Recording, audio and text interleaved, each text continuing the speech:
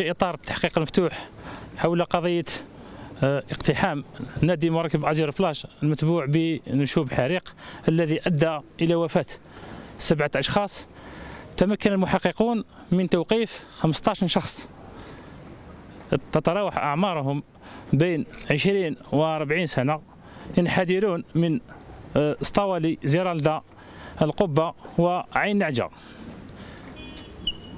هؤلاء الأشخاص هم فاعلين أصليين وشركاء. كما تم خلال هذا التحقيق حجز ثلاث سيارات ودراجة نارية. كما تم حجز كذلك أسلحة بيضاء تتمثل في خناجر والسينيال استعملت أثناء تنفيذ الجريمة.